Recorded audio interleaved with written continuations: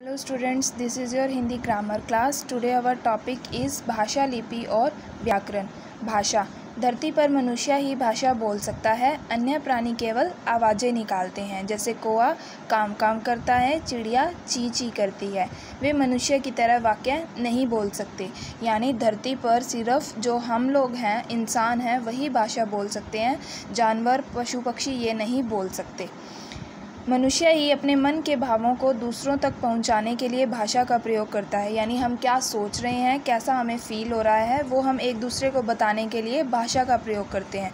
मनुष्य मात्र शब्दों से वाक्य बनाता है और इन वाक्यों से अपनी बात दूसरों को कह पाता है।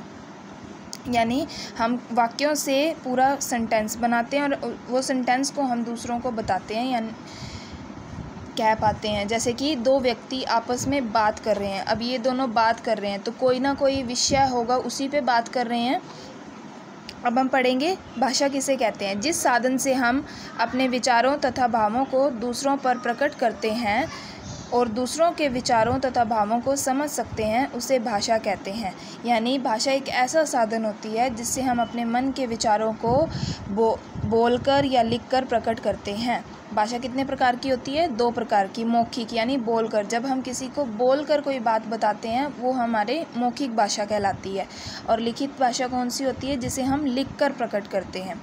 जब एक व्यक्ति बोलता है तो दूसरा सुनता है और बात समझ लेता है। कोई लिखकर अपनी बात दूसरे तक पहुंचाता है तो दूसरा उसे पढ़कर बात समझ लेता है। सेकंड टॉपिक लिपि। जब भी किसी भाषा को लिखा जाता है तो उसके लिए कुछ निश्चित चिन्ह बनाए जाते हैं। ये चिन्ह वर्ण होते हैं। इन वर्णों के लिखने के ढंग को लिपि कहते हैं। यानी जब भी कोई भाषा को लिखा जाता है, यानी हम कोई भी भाषा को लिखते हैं तो उसके लिए कुछ चिन्ह बनाए जाते हैं, जिन्हें हम क्या कहते हैं? चिन्ह को वर्ण होते हैं। इन वर्णों के लिखने ढंग के ढंग को, यानी जो वर्ण होंगे, उसे हम किस तरह से लिखेंगे, उस ढंग को लिपि कहा जाता है।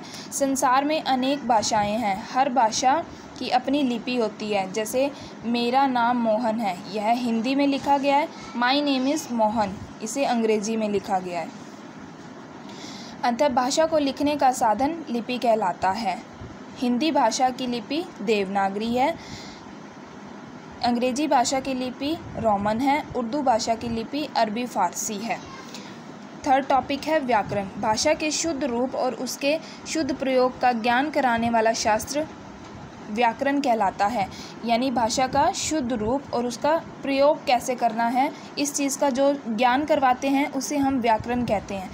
जैसे समझने के लिए कभी कभी हम गलत या अशुद्ध भाषा का प्रयोग कर देते हैं। कभी कभी क्या होता है, हम बोल तो सही रहे होते हैं, लेकिन है ना, उसमें सेंटेंस वर्ड्स जो होते हैं, वो हम सही नहीं बोलते। जैसे, मैंने सेब खाना है।